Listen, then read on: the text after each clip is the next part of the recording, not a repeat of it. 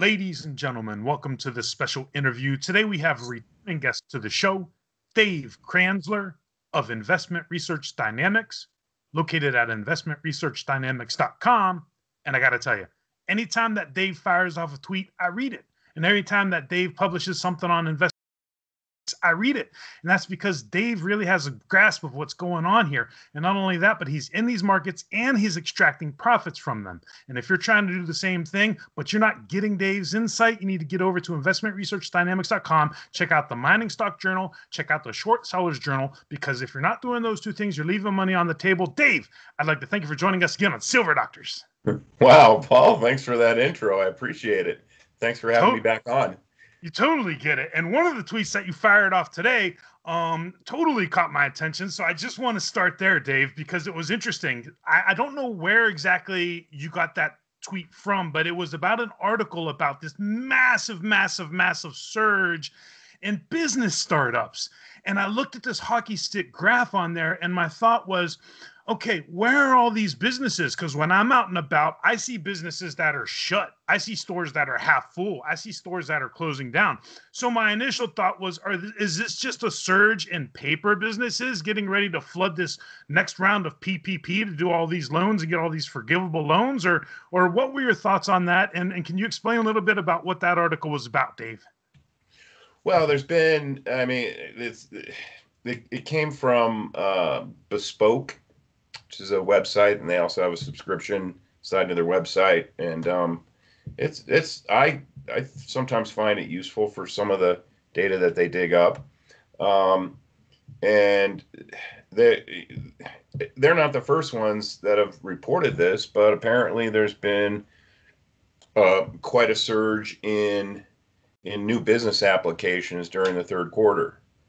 So um, and you know the chart that they the chart they're showing is is oh okay so it goes back to uh, september 2004 uh, and if you read through the article though i mean a, a, a fair portion of it are um, businesses that are unlikely to result in hiring. So that means you know, people who probably lost their jobs during the lockdown or whatever and have decided to go out on their own, do their own, you know, whether it's consulting, whatever.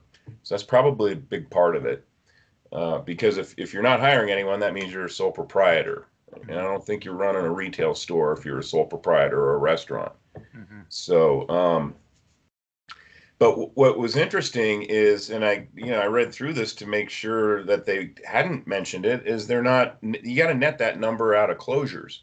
So, for instance, I don't know about two, maybe two months ago, six weeks ago, Yelp published a study, and you know that that's a pretty good resource in terms of small businesses, if you ask me and they, they did a survey and, and they said that their survey showed that 60% of the businesses that were shut down during the pandemic were never going to reopen. So i mean yeah that's all well and good. Is you know it's it's it's it's like the employment report. They show the number of of new jobs well given the limitations of the census bureau and the data manipulation that goes on but um, you know, no, nowhere in the report do you ever find out, you know, well, how many jobs were lost during the same during the same month that you're reporting all these new jobs. You know what I mean? And, and, and it so sounds like it can to me, it's be... kind of a deceptive.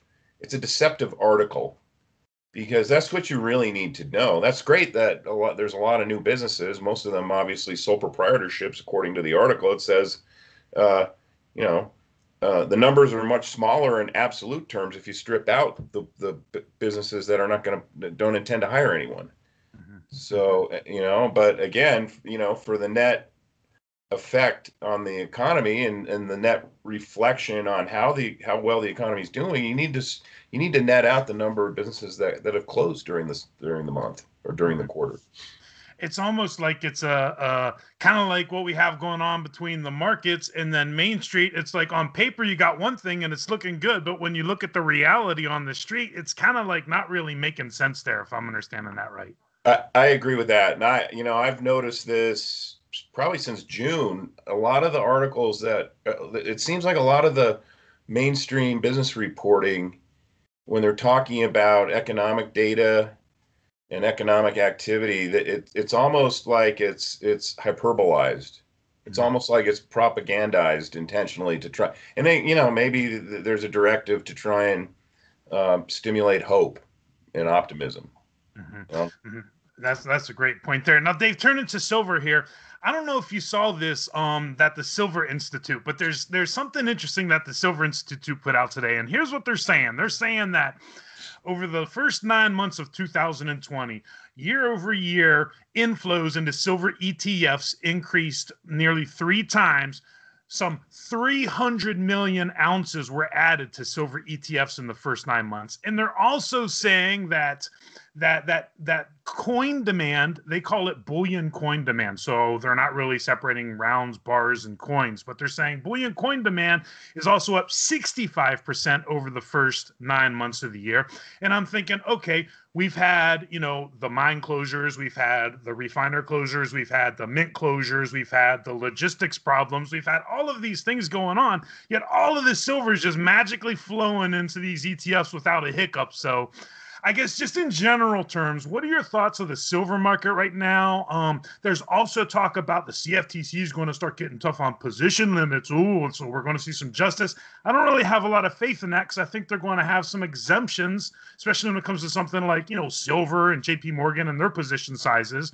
So, just in general, what are your thoughts on the silver market, and and what are you looking at with the dynamics there right now, Dave? I mean, I you know, I, I probably the wrong guy to ask. I mean, I, I think silver is ridiculously cheap relative to the price of gold and and relative as a relative to being a monetary metal. I think it's I think it's um, ridiculously cheap. I mean, if if you get you know if if a miracle happens and the global economy does stage this V recovery, which I'm not seeing in any of the data that I've seen. I'm seeing a bounce. I'm seeing a dead cat bounce, but I haven't seen any sustainability or evidence of sustainability. Um, you know, if that happens, all of a sudden you're going to have a, a, a, much, you know, mu- a bigger demand, industrial demand for silver. Hmm. And I, you know, I don't, I don't even really track the the uh, demand numbers for silver because it, you know, that the numbers get obfuscated intentionally, and you know, referring back to you know the supposed amount of silver flowing into ETFs, that's that's that's opaque also because there isn't anyone I know, including myself, who thinks that there's actual that amount of actual physical bars going into those ETFs.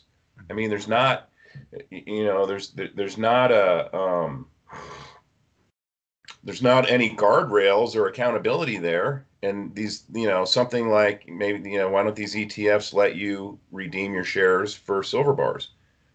So I, I mean, I know the Sprott one does, but yeah, you have to have you know probably six figures worth of of PSLV shares in order to turn them in for bars. You know, I know I know for I know they have 400 ounce gold bars in their in their in their gold ETF, and that you know that that's a big nut for most people to swallow.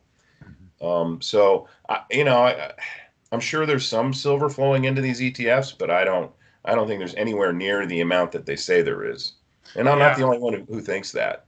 Yeah, and I would tend to think that, you know, if it's something like the Sprott one, like the PSLV, then I would have faith in something like that. But when it's something that's, you know, if we're talking about like the SLV or one of these other ones, you know, I, I would definitely question exactly how all of that silver is getting in there um, within the first nine months. Um, and, and well, you know, it could be as simple as they're just, you know, JP Morgan is the custodian for SLV. It could be as simple as, you know they have a huge vault and they're taking if they need to if someone questions them on it and demands to go see the you know the actual inventory which you know if you read through the prospectus that's extraordinarily difficult to ha- make happen. I mean you and i can't go do that but um you know i suppose they they're taking bars unallocated silver bars that belong to other people and they can just move them over to the slv side of the vault so. Yeah Yeah. And and you know, and, and it's frustrating because on the one hand, like you know, I talked to Rob Kirby a couple weeks ago. He said, you know, the manipulation it's continuing, it's going on. Craig Hemke just wrote an article that was rather interesting, talking about, you know, the same old shenanigans are going on. Then Ted Butler comes out and he's like, no, this is more than a slap on the wrist. This is something that's big. They're really starting to clean up now. So just just what are your thoughts on this? Are, are we really making progress here that the manipulation is coming to an end, Dave? No. And, uh, you know, I was just thinking about this this morning for some reason, but uh, remember, I don't know, a couple years ago when they restructured the the London price fixing uh, operation, and the LBMA came out and they said they're they're trying to make changes so that what happens on the LBMA and with the price fixing is more transparent. Remember that? Mm-hmm. Mm-hmm. Well, as mm-hmm. it turns out, it's even less transparent. You know, as an example, before this restructuring, they used to release the the data from the the AM and the PM fix like usually within an hour uh, after the fix was completed.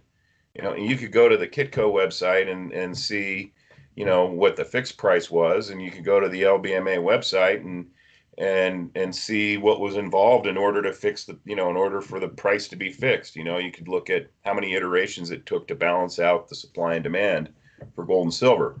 Well now they don't release the data until about 12 hours later and it's intentional.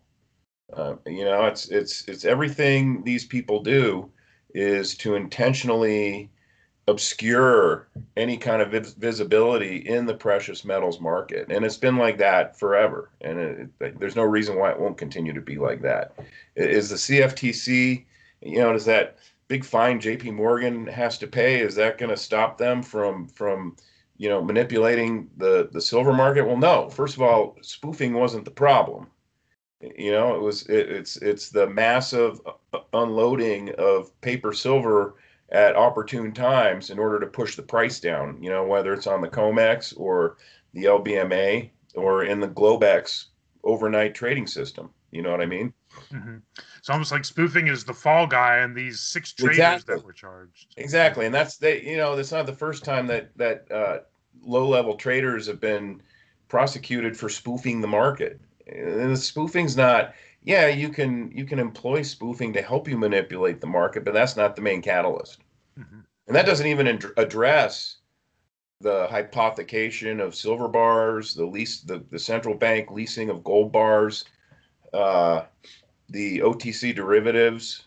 There's no visibility with those. We have no idea. All you can do every quarter, the OCC puts out a report, their their over-the-counter derivatives report, and there's a section that tracks the precious metals, and all you can do is see the netted amount of derivatives outstanding, and you know nothing about them. Mm-hmm, mm-hmm. Very interesting. Um, turning here to the stock market for a minute, Dave. You know, on Monday, on Monday, President Trump tweeted out six times something about the stock market. He tweeted out six times something about the stock market between 8:05 in the morning and 11:54 in the morning tweets on Monday. So, you know, everybody's so sure that the market's just going to go up, and all that they're waiting on is is is this next round of fiscal stimulus so the Robin trade Robinhood traders can get their trade on. But I mean, I don't know how does a person even trade these markets right now. I mean, you're looking at this massive double top in the S and P and in the Nasdaq, and I'm thinking, I mean or in the Dow. You know, is it going to be Dow 35,000 or Dow 25,000? At this point, I have no clue. How do you even make sense of the stock market and the financial markets in general right now? It's tough, and again, it's it's you know they've borrowed the the methodologies that are being employed in the precious metals market. They're you know they're they're they're intentionally making it difficult for shorts to try and uh, effect price discovery on the market and you know they they make it tough for you know pure speculators. A lot of these pure speculators they'll ride they'll ride their call options up, and then boom, you'll get a big downdraft in the stock market like we had you know what last week I guess, mm-hmm. um, and it wipes out their profits. So um, it, it's it, the problem is is that all of the Federal Reserve intervention in the markets and the official intervention, you know, that, that's kind of going on globally, um, it, it's basically created completely dysfunctional markets. I mean, it's it's I mean, as you know, you know, most stocks are just insanely overvalued, especially these tech stocks that you know don't make money, have never made money, and never will make money, and yet they're sporting market caps in the tens of billions. So, um, I mean, best strategy is just put together a good portfolio but make sure you also have some physical. I would I would probably make that a, a, meaningful percentage of my investment allocation that you just get and that you safe keep yourself and you just sit on it. And in the mining stocks you just buy and hold them. Because uh, you know otherwise I mean I, it is the market is you can scalp it but you gotta you gotta be quick. It's like you know if you put on a you put on a, a, a short position or a put position and you wake up like this morning and the market's down. I mean, the Dow opened down well over 200 points. Um, and then, you know, with, within the last hour, the Dow had gone green. Now it closed red again. But, um, you know, normally you would expect to be able to hold that short position and ride it out for several days, you know, because a downtrend would start maybe. But now it's like, it's like you said, you know, the market starts to to head south quickly, and Trump all of a sudden Trump tweets. I mean, there is a former White House advisor who admitted whenever we needed the stock market to go up at a certain point, we would roll Larry Kudlow out on CNBC mm-hmm. or yeah. Fox. So yeah. you know, so I mean, these, even these guys are admitting they're manipulating the markets. Yeah, and and I actually picked something out the other day um, with regards to the Trump tweets because that Tuesday when he said the stimu I'm calling off the stimulus talks, that Tuesday tweet the markets immediately plunged. It was like 11:46 in the morning or 11:48. And then the, the that same evening when the flip-flop occurred and it was like go big or go home or something like that, that first tweet that caused the markets to tank had the word stimulus in it. The second tweet saying no, it's back on, let's go even bigger than before, that did not have the word stimulus in it and we didn't get that kind of reaction out of the markets instantaneously. Um so and and then you look at something like silver talking about maintaining positions or trying to trade these markets. You know, you're sitting at 24.75, you know, not even 24 hours ago. It gets walked down to the low 23s to where do we bottom at this morning? You know, you get walked down into the 23.65 and now we're back up to 20 24.45 or something like that. So it's just it's just a roller coaster of volatility right now in addition trying to hold on to positions.